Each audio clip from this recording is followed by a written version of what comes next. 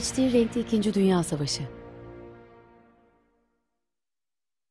Wir können glücklich sein zu wissen, dass diese Zukunft restlos uns gehört. Hitler doğuya saldırır. Adolf Hitler, rejiminin en büyük düşmanının Sovyetler Birliği olduğunu hiçbir zaman saklamadı. Der sich als Träger seines besten Blutes fühlen und dieses Wissen zur Führung der Nation Komünizmden nefret eder. Sovyet Rusya'nın dev boş alanlarını ve bol doğal kaynaklarını Almanların sonunda üstün ırk olmasını sağlayacak ödüller olarak görüyordu. nicht mehr abzugeben.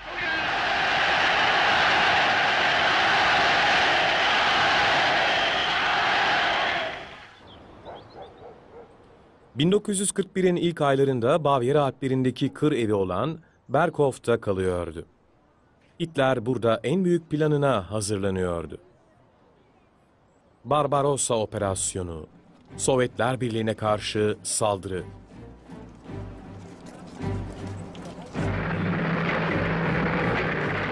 Orduları istikrarlı bir şekilde doğuya yöneldi ve en zorlu görevleri için tekrar teçhizatlandırıldı. Bu sırada Stalin'in Sovyetler Birliği hala Hitler'in müttefikiydi. Ve Stalin bunun böyle kalmasını istiyordu. Çünkü ülkesi savaşmaya hiç hazır değildi.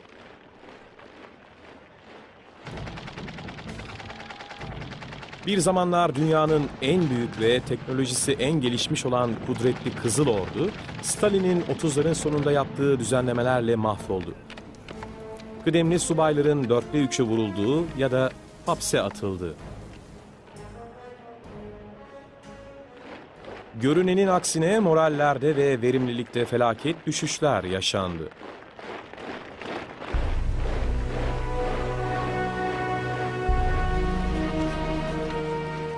Alman askerleri Rusya'nın komşusu olan Polonya'ya dolmaya başladığında barışı korumak için umudu kalmayan Stalin, Hitler'i rencide edecek hiçbir şey yapılmamasını emretti.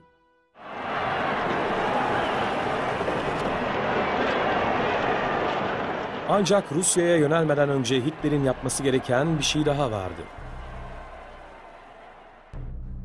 Güney cephesini koruması gerekiyordu. Romanya, Bulgaristan ve Macaristan Almanya'nın sadık müttefikleriydi. Ancak 1941'in Mart ayında Almanya'ya ılımlı olan Yugoslav devleti İngiliz yandaşı güçler tarafından ele geçirildi. Ve komşu ülkesi Yunanistan İngiliz yandaşıydı.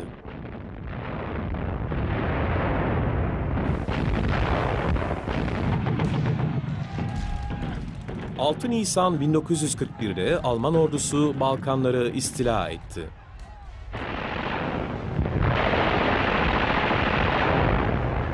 ...33 Alman birliği Yugoslavya'ya girdi. Savunmalarını hızlıca etkisiz hale getirdiler. Başkenti Belgrad 12 Nisan'da teslim oldu.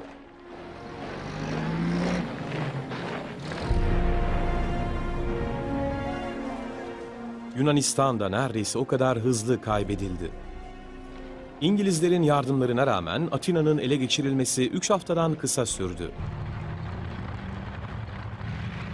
Barbarossa operasyonunun önünde hiçbir şey kalmamıştı.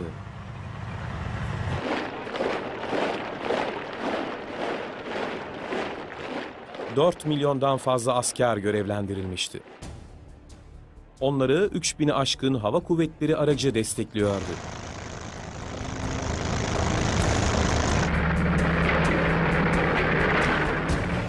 Aynı anda gerçekleşecek 3 hücum planlanıyordu. Kuzey grubu ordusu Baltık ülkelerini ve Leningrad'ı ele geçirecekti.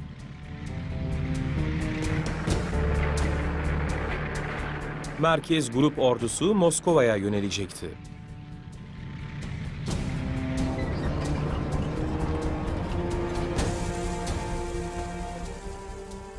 Güney Grubu ordusu ise Ukrayna'yı işgal edecekti.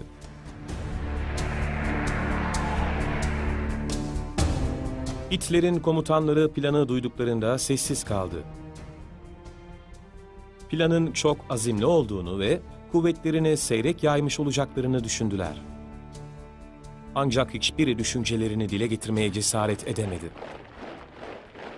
Kızıl Ordu çok daha büyüktü. Neredeyse 2 milyon asker Batı cephesinde hazır bekliyor ve milyonlarcası yedekte bekliyordu.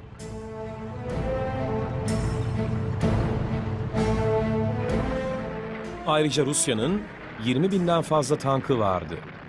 Almanya'nın 6 bin tankından çok daha fazla. Daha eski ve daha az güçlüydüler. Yine de oldukça kuvvetli bir savaş gücüydü.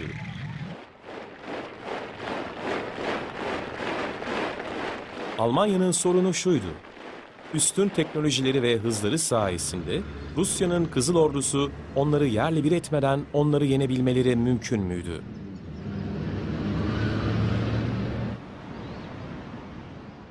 ...22 Haziran 1941'de sabah saat 3.15'te Barbarossa operasyonu başladı.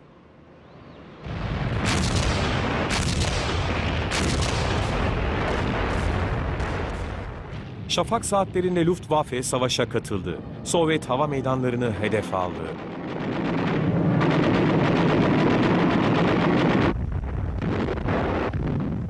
Aynı anda kara kuvvetleri de saldırıya geçti.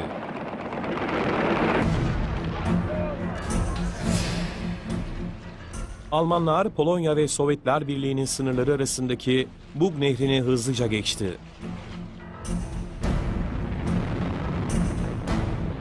Hitler'in panzerleri kısa zamanda Sovyet bölgelerinin derinliklerine girmişlerdi.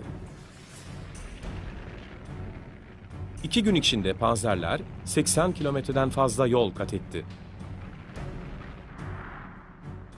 Hazırlıksız yakalanmış Kızıl Ordu'nun karşı saldırıları süratle kenara itildi.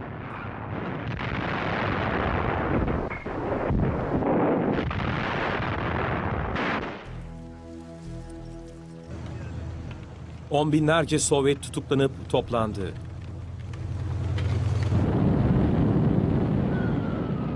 Bu sırada da Luftwaffe hava saldırısının tamamını ele geçirmişti.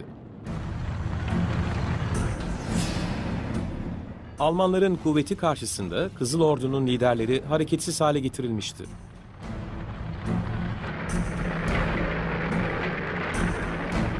Saldırılardan 7 gün sonra 29 Haziran'da iki panzer birliği Minsk çevresinde buluştu ve Sovyet birliklerinin büyük kısmını çevrelediler.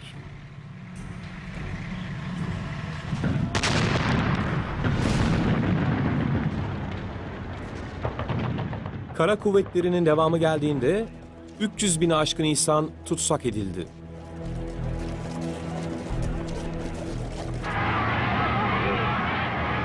Almanlar çoğu yerde kurtarıcı olarak görünüyorlardı. Ukrayna gibi Rus karşıtı olan yerlerde bu hisle sıkça karşılaştılar.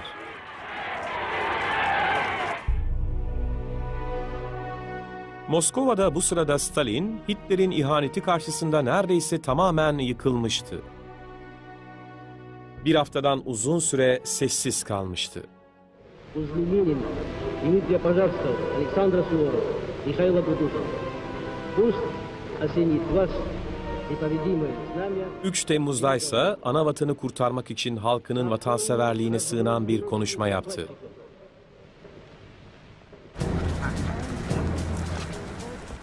İngiltere'de ise Başbakan Winston Churchill, Barbarossa operasyonunun haberleri ona ulaştığında çok farklı bir tepki verdi. Artık ülkesi yalnız kalmayacaktı. Nazi Almanyası'nın her düşmanının kendi dostu olduğunu ilan etti. Geçmişte olan bütün politik anlaşmazlıkları yok sayacaktı. Sovyet Dışişleri Bakanı Vaslav Molotov'la karşılıklı yardım anlaşması imzalamak üzere Moskova'ya elçiler gönderdi. Ama deniz yollarıyla destek göndermekten başka, İngiltere'nin Sovyet Birliği'ne hemen yardım etmesinin başka yolu yoktu.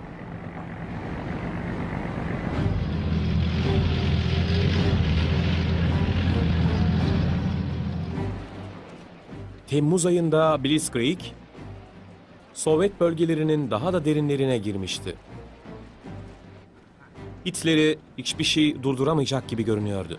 Ancak Hitler ilk stratejik hatasını yapmak üzereydi.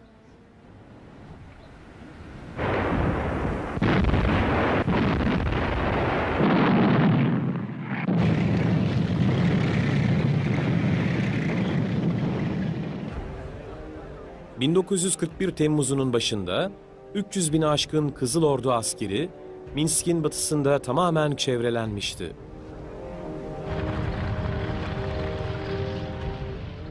Hitler'in panzer komutanları özellikle komutan Heinz Guderian hücuma geçmek için yalvarıyordu. Barbarossa operasyonu bir saat gibi çalışıyordu.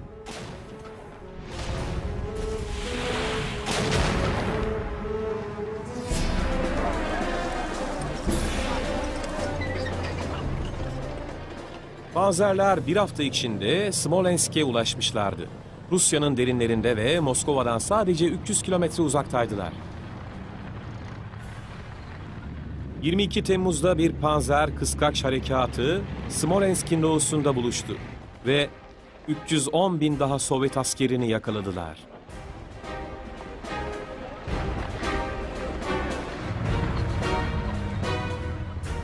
Burada ordunun kalanının gelebilmesi için küçük bir duraksama yaşandı. Tanklar çok hızlı olsalar dahi ordunun büyük bir kısmı yaya gelmek ya da atla çekilen araçlar kullanmak zorundaydı.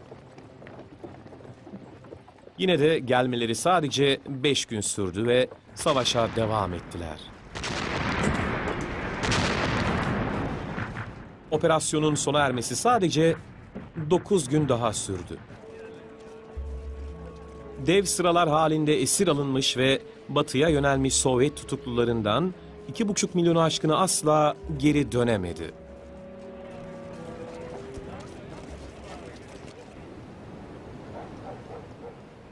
Moskova'ya sadece 300 kilometre kalmıştı ve oraya giden yollar tamamen açılmıştı.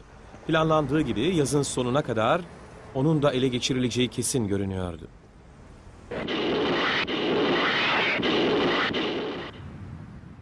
Ancak başka bir yerde Alman birlikleri ilerlemekte zorluk çekiyordu. Kızıl Ordu'nun karşı saldırıları daha etkiliydi. Temmuz ortasında Güney Grubu ordusu Kiev'den hala 80 kilometre uzaktaydı. Hitler, Guderian'ın panzerlerinin Moskova'ya olan hareketini erteleyip onların güneye, Kiev'e yardım etmelerini emretmeye karar verdi. Guderian buna karşı çıksa da Hitler kararlıydı. Kiev ele geçirilene kadar Moskova'ya daha fazla yaklaşılmayacaktı. Bu oldukça vahim bir karardı. Kızıl Ordu'nun Hitler'in düşündüğü gibi bir çocuk oyuncağı olmayacağını gösteren belirtiler vardı. Sovyetlerin insan kuvvetleri sınırsız gibiydi. 16 milyondan fazla asker harekete geçmişti. Kızıl Ordu'nun aşılması zor yeni silahları mevcuttu.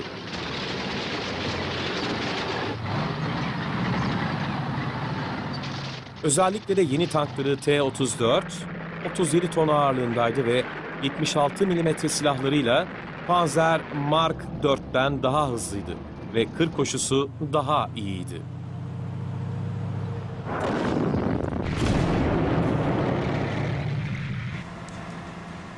Ancak Blitzkrieg yoluna devam ederken tehlikenin gözden kaçması kolaydı. Guderian'ın Panzer grubu 23 Ağustos 1941'de güneye hücum etti. Güney grubu ordusunun panzerleri 3 hafta sonra kuzeye vuruşa geçti. Kıskaçlar 16 Eylül'de Kiev'in doğusunda buluştu.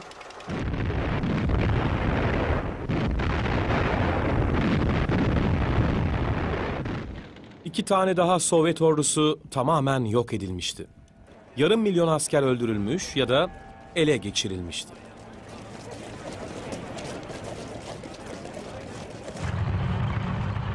Aynı günde 1600 kilometre kuzeyde Kuzey Grubu ordusu bugünün St. Petersburg şehri Leningrad'ı çevreledi. bir anda Sovyetler Birliği'nin kalanından ayrılmıştı. Şehir kuşatma altındaydı. Hitler şehre saldırmak yerine Alman askerlerine sabit kalmalarını emretti. Şehrin teslim olmaktan başka çaresi kalmamasını bekliyorlardı.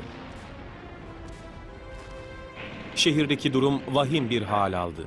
Sovyetler Birliği ile tek bağlantıları doğudaki Ladoga Gölü'ydü. Ancak sudan alabildikleri yiyecek miktarı çok düşüktü.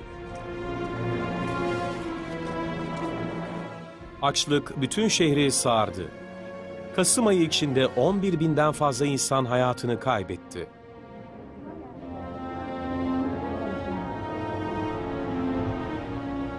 Aralık ayında göl üzerinde buzdan bir yol açıldı ve yemekte sadece küçük bir artış sağladı. Ancak aralığın yalnızca bir gününde bile 3700 kişi açlıktan öldü.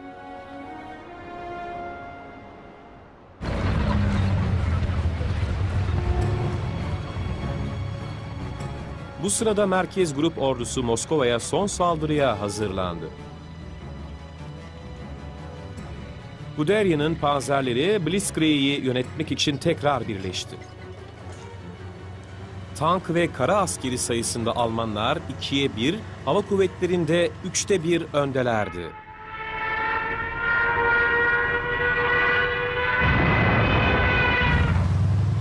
...20 Eylül 1941'de saldırı başladı. Guderian'ın panzerleri bir kez daha Kızıl Ordu'yu delip geçti. 7 Ekim'e kadar daha fazla Sovyet askeri çevrelenmişti.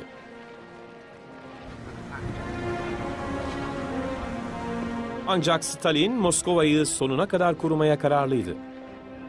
Tüm General George Zhukova şehrin korumalarını organize etmesi için görev verdi.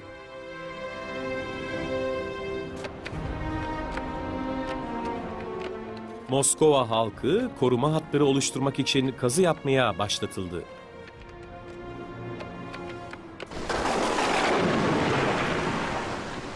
Ancak Almanların hareketinin önündeki gerçek engel hava koşulları olacaktı. 8 Ekim tarihinde şiddetli yağmur başladı. Alman araçları kısa zamanda çamur gölleri tarafından yavaşlatıldı.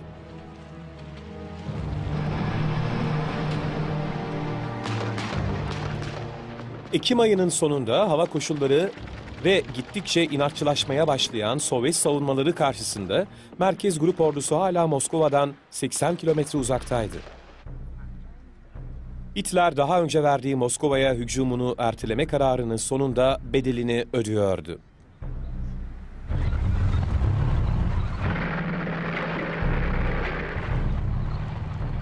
Tam da bu zamanda Güney Grup Ordusu Karadeniz'e ulaştı. Burada daha çok Sovyet askeri tuzağa düştü. 100 bin daha tutsak esir alınmıştı. Ancak onlar da hava koşullarıyla karşılaştı. Yine de Karkov şehri 24 Ekim 1941'de ele geçirildi. Ancak hava dondurucu derecelere düşmüştü. Yazın sonuna kadar savaşın biteceğinden emin olan Alman kuvvetleri hazırlıksız yakalanmıştı. Kış kıyafetleri olmadığı için hasar görmeye başlamışlardı.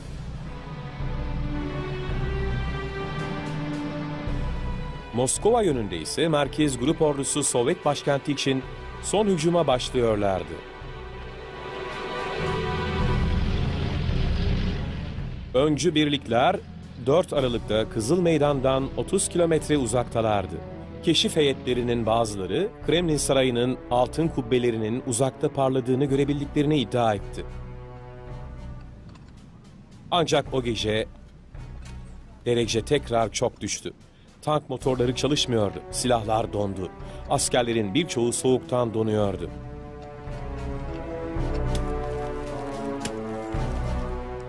5 Aralık'ta Almanlar saldırıyı durdurdu.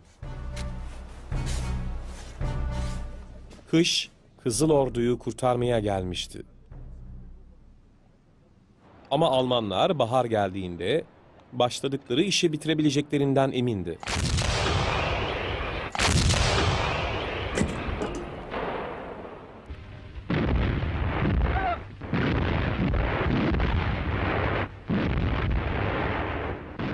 ...1941 sonbaharının çoğunda... ...Stalin'in orduları Alman saldırıları altında bozguna uğruyorlardı. Bütün bu süreç içinde bir sorunu daha vardı. Sibirya'da kuvvetlerine Japonların saldırma ihtimali vardı. Ancak Kasım ayında Sovyet diktatörü Japonya'daki en iyi casusundan bir haber aldı. Bu habere göre Japonların böyle bir amacı yoktu.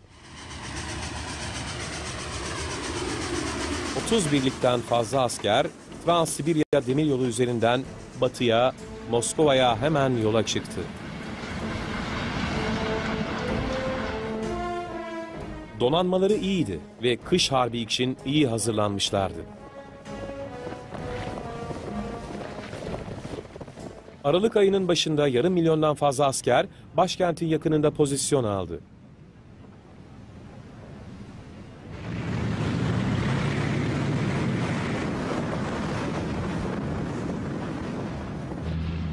...5 Aralık'ta Almanlar Moskova'yı ele geçirme planından tam vazgeçmişken... Ruslar tarafından vahşi bir saldırıya uğradılar.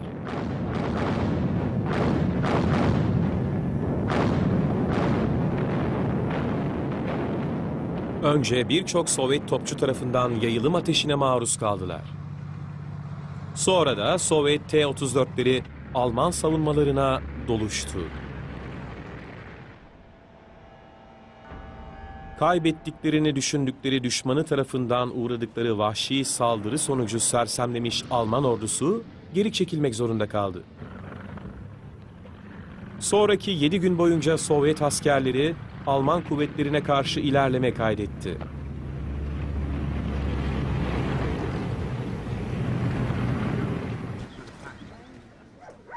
Moskova'ya saldırısını çekinerek durdurmuş olan Hitler için bu büyük bir kayıptı.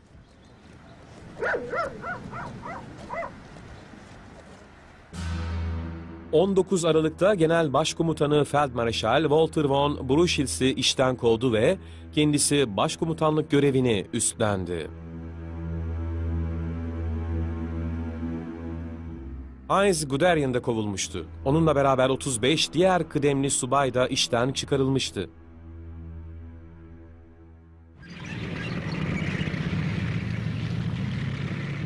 Hitler ordularına artık geri çekilmeyeceklerini emretti. Alman askerleri savaşmak zorundaydı. Gerekirse durdukları yerde öleceklerdi.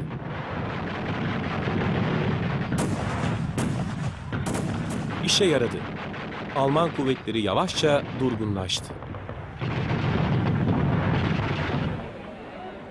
Kızıl Ordu'nun başarısından memnun kalan Stalin ise bütün cephelerde derhal harekete geçileceğini emretti. Stalin'in en güvenilir komutanlarından biri olan Tüm General Zhukov onun fikrini değiştirmeye çalıştı ama Stalin kendisinden emindi.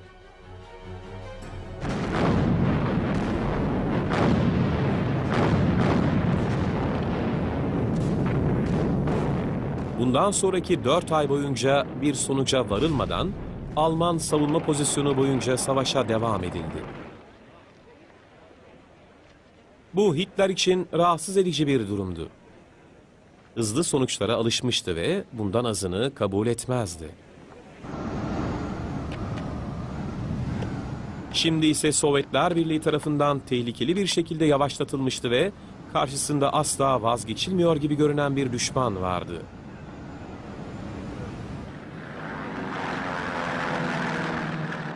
Başını ağrıtan tek şey Rusya'da değildi. 7 Aralık 1941'de Almanya'nın müttefiği olan Japonya hiçbir uyarı vermeden Birleşik Devletlere saldırdı.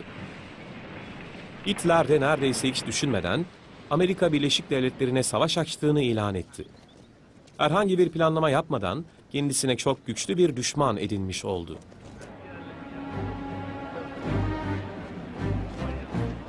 1941 bitip 1942 başlarken Hitler tekrar Rusya'ya saldırıya geçmekte kendisinden emindi. Ancak yeni bir stratejiye ihtiyacı vardı. Bütün cephelerde savaşma planı artık çok makul değildi.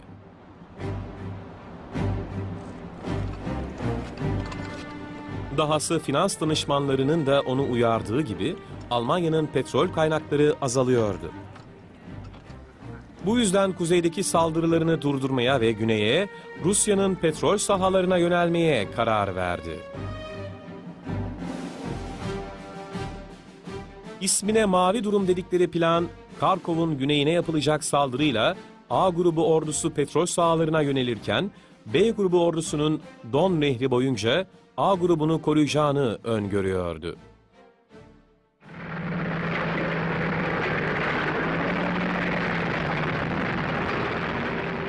Ve anında Karkov'u geri almaya çalışan Sovyet kuvvetleriyle vahşi bir çatışma yaşandı.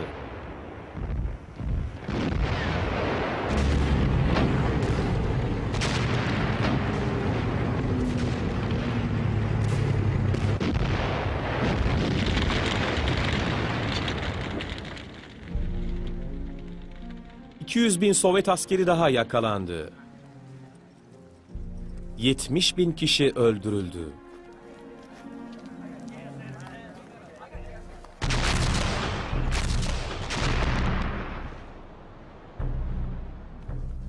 Bu operasyonun bir parçası olarak Almanlar Kırım'da, Sebastopol'un limanında kuşatmalarına odaklandı.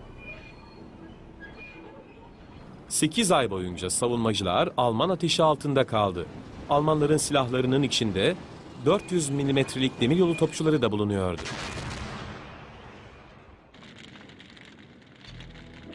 ...1942 Haziran'ının sonuna doğru Sebastopol Almanlar tarafından ele geçirildi. Petrol sahalarına girmek artık güvenliydi.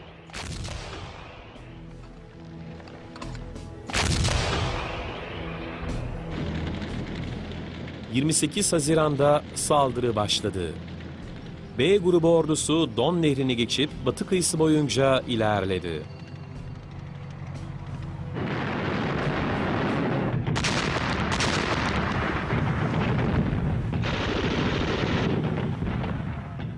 Grubu ordusuysa daha fazla engellerle karşılaştı.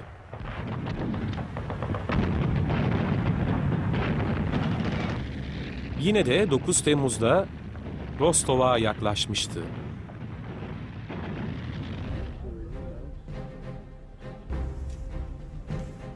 Hitler'in bundan sonra vereceği birkaç karar büyük stratejik hatalar olacaktı.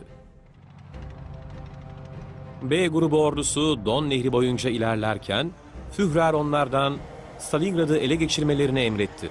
Şehrin stratejik olarak bir yararı olmamasına rağmen. Orduya bir anda devasa yeni bir görev verilmişti. İki hafta sonra Hitler yanlış kararının farkına vardı. Kafkaslara düzenlediği harekatın yavaşlığı karşısında sinirlendi ve panzerlerinin büyük kısmını dağlara yöneltti. Stalingrad'a yapılan hareketler oldukça yavaşladı.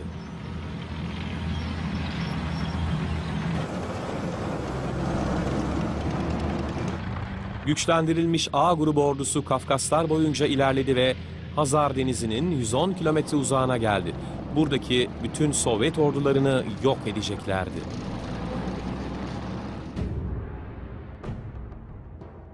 Ama sonra Hitler yine fikrini değiştirdi. B grubu ordusunun Stalingrad'a doğru olan hareketinin yavaşlığına sinirlendi ve panzerlerini tekrar kuzeye çağırdı. 9 Ağustos'ta A grubu ordusu Maykop'un güney petrol sahalarının ilkini ele geçirdi. Ulaştıkları yer oldukça dağılmış bir haldeydi.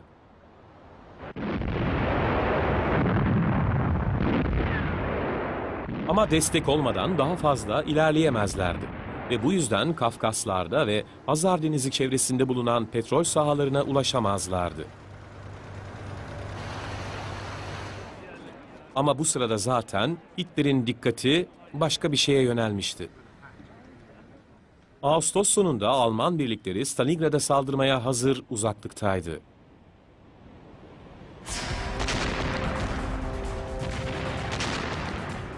Hitler'in baş düşmanının adını taşıyan şehre saldırmaya hazırlardı.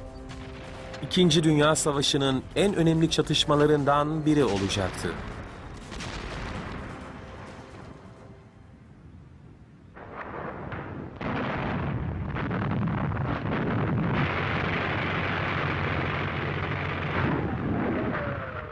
...17 Ağustos 1942'de komutan Frederick Paulus'un 6. ordusu Don Nehri'ni geçti ve...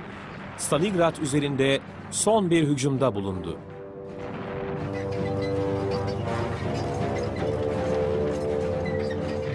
Altı gün sonra bir panzer birliği şehrin kuzeyindeki Volga nehrine ulaşmıştı ve Alman askerleri şehrin dış mahallelerinde savaşıyorlardı.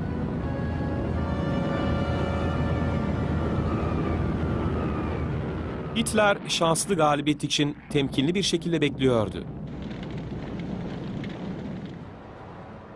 Stalingrad önemli bir endüstri merkeziydi. Nehrin batı kıyısının 20 kilometresinden fazlasını kaplıyordu. Buradaki fabrikalar Sovyetler Birliği'nin traktör ve kamyonetlerinin, tank ve silahlarının bir çeyreğini üretiyordu. Rus halkı burayı heybetli bir hisara dönüştürmüşlerdi. Hitler'in B grubu ordusu panzerlerini güneye gönderme kararı onlara yardımcı olmuştu. Bu sayede hazır olmak için fazladan iki haftaları vardı.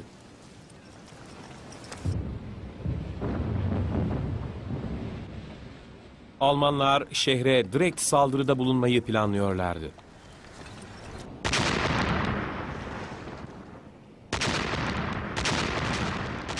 İkinci Dünya Savaşı'nın en uzun ve en gergin savaşlarından biri başlıyordu.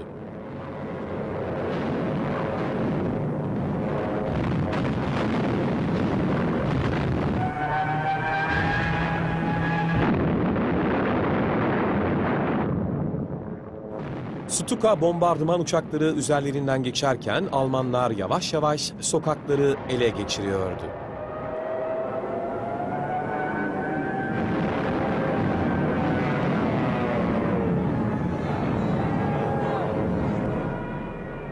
Savaşmalar vahşiydi. Evden eve, odadan odaya uzadı.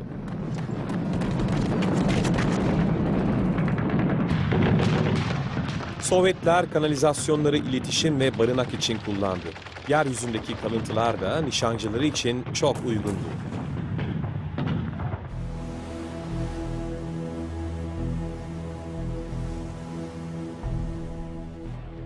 Rusların destekleri nehirden geçirilerek gelmek zorundaydı.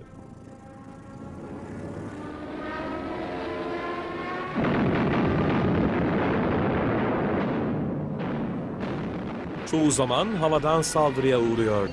Yine de binlercesi ulaştı.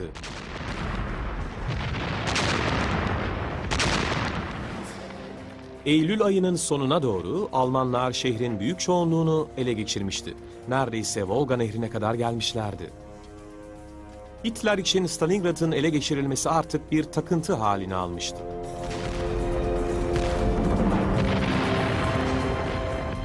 4 Ekim 1942'de komutan Paulus Stalingrad'a son yapılacak olması gereken saldırıyı başlattı. Tanklar önden gidiyordu. Kalıntıları eziyor ve avlulara kısa menzilde ateş ediyorlardı.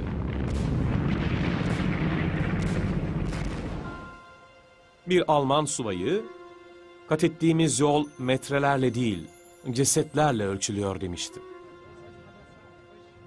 Almanların kazanması kesin görünüyordu. Ama aslında Almanlar tehlikeli seviyede genişlemişlerdi. Kasım'ın ortasında Sovyet ordusu destek getirmeye başladı. Kat ettiğimiz yol metrelerle değil, cesetlerle ölçülüyor demişti. Almanların kazanması kesin görünüyordu. Ama aslında Almanlar tehlikeli seviyede genişlemişlerdi. Kasım'ın ortasında Sovyet ordusu destek getirmeye başladı. 1 milyondan fazla asker, 13.500 silah, 900 tank ve binden fazla hava kuvveti aracı gizlice savaş alanına geldi.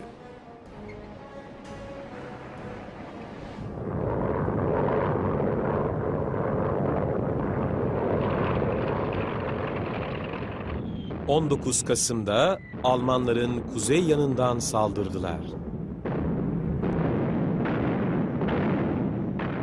Topçuların ateş etmeleri sonrasında T-34'ler ve saldırı piyadeleri Alman cephelerini delip geçtiler. Ve binlerce Alman kaybedip teslim oluyordu.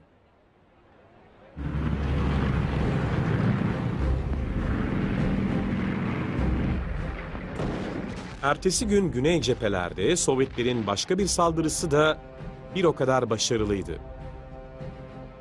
23 Kasım'da ise kıskaç harekatları Stalingrad'ın batısında buluştu ve 6. Alman ordusunun bağlantılarını kestiler.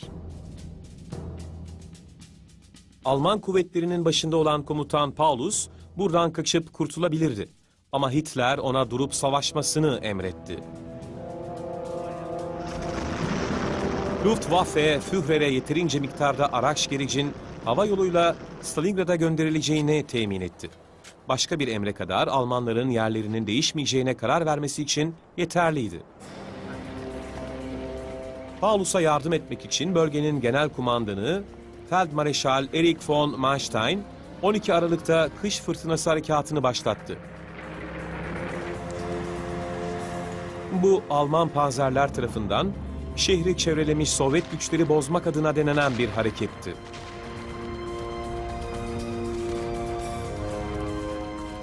İki gün boyunca plan işe yarar gibiydi. Ama sonra Kızıl Ordu kuvvetleri arttı. 23 Aralık'ta Alman Kurtarma Birliği şehirden 50 kilometre uzakta durdurulmuştu. Manstein kuşatma altındaki Paulus'a Stalin'den kaçmasını önerdi. Paulus Hitler'den izin istedi ancak izin verilmedi. Zaten büyük ihtimalle bunun için çok geç kalmışlardı. Tüm General Zukov imar planının bir sonraki aşamasına geçmeye hazırdı.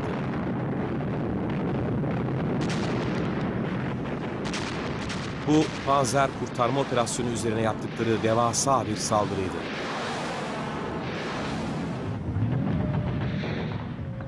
Panzerler şehirden daha da uzağa itilmişlerdi. Aralığın sonunda Stalingrad'dan Alman güçlerini çıkarmak için hiç umut kalmamıştı.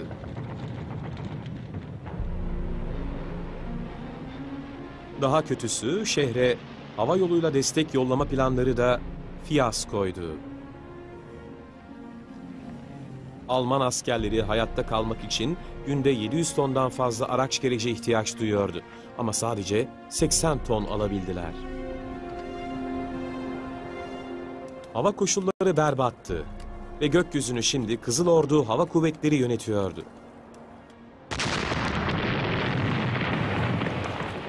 Süratle Sovyet askerleri Almanları kıstırdı. 200 bin asker köşeye sıkıştırılmıştı.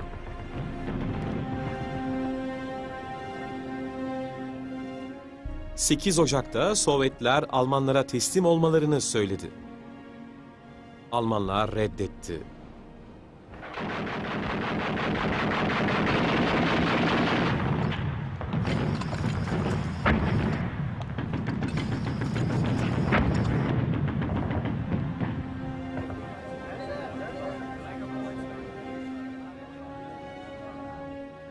...31 Ocak 1943'te... ...Paulus teslim olmak zorunda bırakıldı.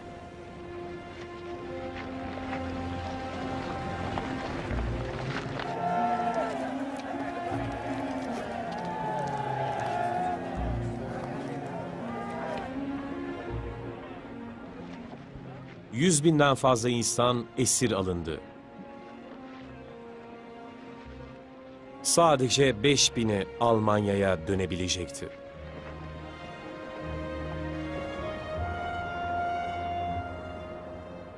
Stalingrad kanlı bir çatışma olmuştu. Almanlar vahşice yenilmişti. 300 bin insan hayatını kaybetmişti. Ve bir o kadar da müttefikleri.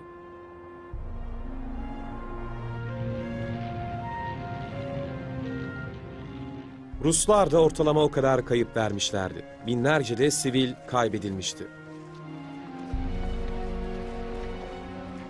Savaş başladığından beri Almanya'nın en büyük felaketiydi bu. Ama sonuncu olmayacaktı. Şimdi Kızıl Ordu Hitler'in kuvvetlerini bütün Doğu cepheleri boyunca sürekli yenilgiye uğratıyordu.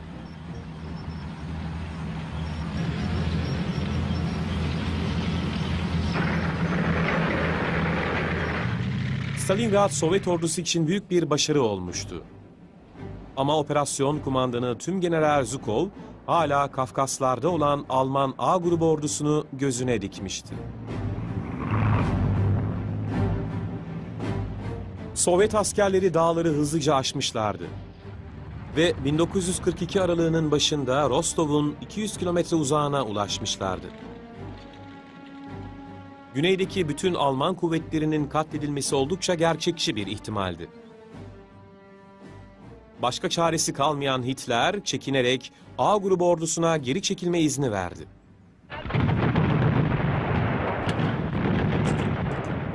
Ardından gelen bir ay boyunca Almanlar büyük bir başarıyla son çırpınışlarını çatışmada gösterdi. Yüz binlerce asker geri çekildi. Sonra 12 Ocak 1943'te Zhukov tam olarak hücuma geçti.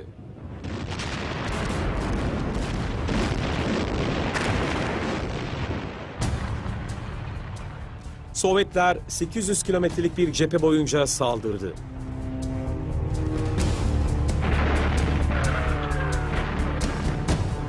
Yediye bir kaybeden bölgedeki Alman kuvvetlerinin genel kumandanı von Manstein inanılmaz bir hareketli kaçış sergiledi.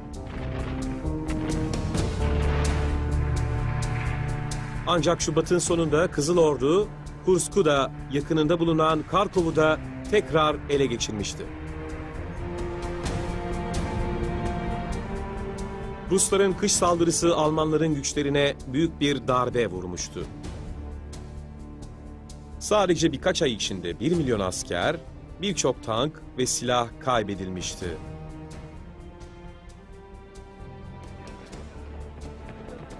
Kızıl Ordu'nun hala fazla sayıda insan gücü bulunmaktaydı.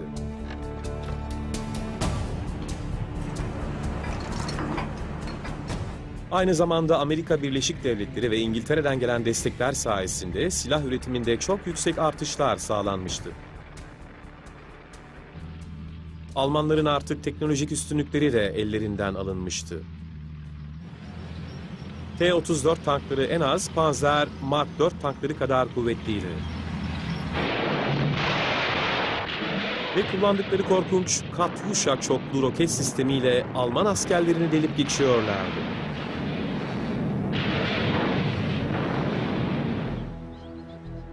Ancak Hitler umudunu kesmiyordu. Yazın başında yapacağı öncelikli bir saldırıyla Sovyetler Birliği'nin dengesini bozup inisiyatifi tekrar kendisine getirmeyi hayal ediyordu. Başlamak için en uygun yer Kursk gibi görünüyordu. Burada Sovyetler Alman Birliği içine derin bir delik açmıştı. Bu onların bir açığı gibi görünüyordu. Hitler bunun kesilip yok edilmesi gerektiğine karar verdi. Aynı zamanda gizli bir silahı da vardı. Alman karşı saldırısı Rusların heybetli T-34 tanklarına karşı tasarlanmış yeni bir tankla savaşacaktı.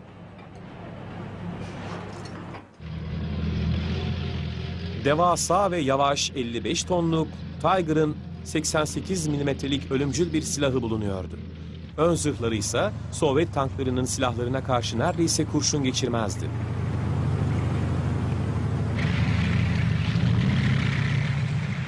Bir de daha hızlı 43 tonluk panterler vardı. Yeni 75 milimetrelik silahıyla bunlar da T-34 tanklarını devirebilecekti. Bu tanklar o kadar yeniydi ki yeterince tank üretilip sahaya ulaştırılana kadar Hitler saldırıya başlamak için beklemek zorunda kaldı.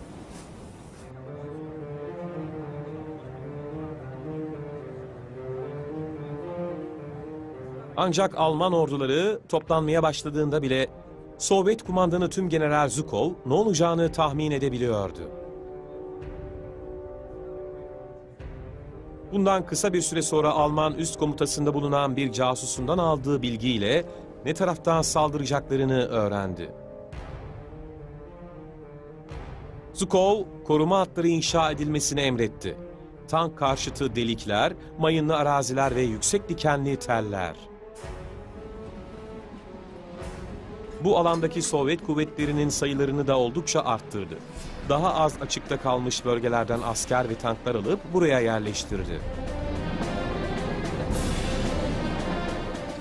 Kursk'a yapılacak saldırının başında Almanlar Sovyetlerden çok daha az sayıdalardı.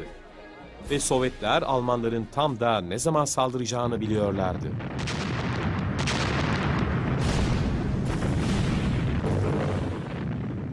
5 Temmuz 1943'te Alman askerleri tam da saldırıya hazırlanırken Sovyet topçuları tarafından bombardıman altında kaldılar.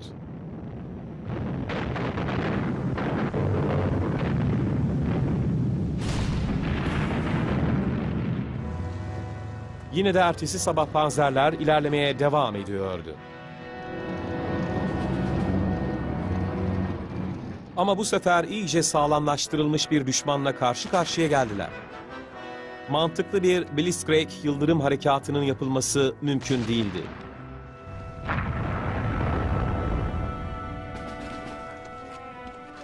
Sonuçlar felaketti.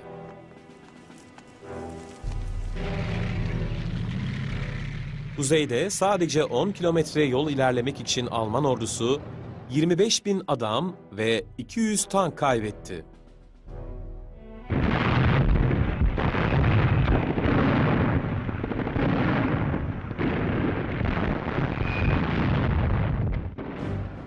Güneyde Almanların durumu biraz daha iyiydi. Sovyetlerin savunma hattına 40 kilometre kadar ilerleyebildiler. Ama bunun için de büyük bir bedel ödediler. 10 bin asker öldürülmüş ve 350 tank yok edilmişti.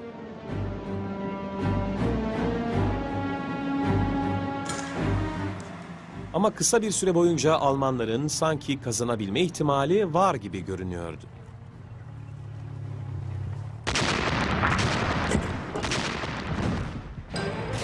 Sonra Zhukov yedeklerini de sahaya yolladı. 12 Temmuz 1943'te 900 tank daha Almanların yanlarından hücum etti.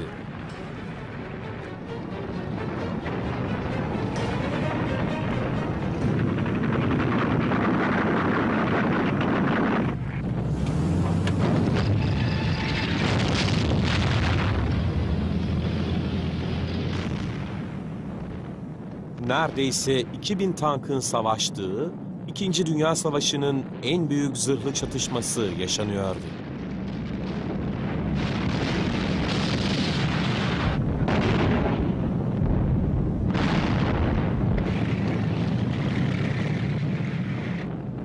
Sovyetlerin T-34'leri Almanlara yanaştı ve kısa menzilden ateş etmeye başladılar.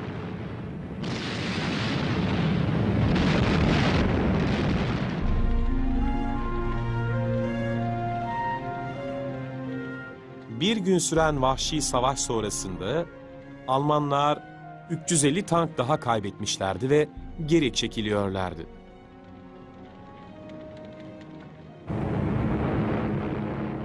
Bu sırada yukarıda da inanılmaz bir hava savaşı yaşanıyordu. Bir süre sonra Sovyet Hava Kuvvetleri Luftwaffe'ye üstünlüğünü gösterdi. Şimdi Ruslar kuvvetli tank öldürücüleri Ilyushin iki Stormoviklerini savaş sahasına salabilirlerdi.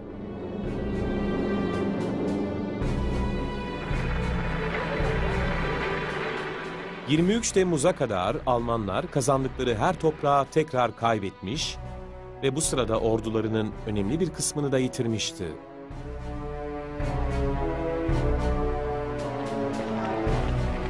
Hitler'in Kursk'a yaptığı macerası ona en az 50 bin asker ve 700'den çok tank kaybettirmiştir.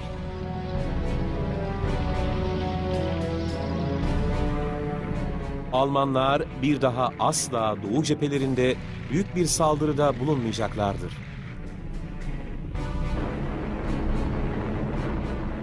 Ruslar savaşın gidişatını değiştirmiştir.